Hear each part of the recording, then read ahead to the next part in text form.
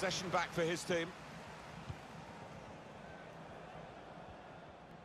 Well, here he goes. It's good to see a player do this. Opportunity to cross it now. An attack that wasn't quite that in the end.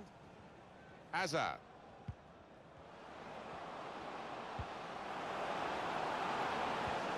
We could be in. And this time, yes, they do score. Well, it's been coming.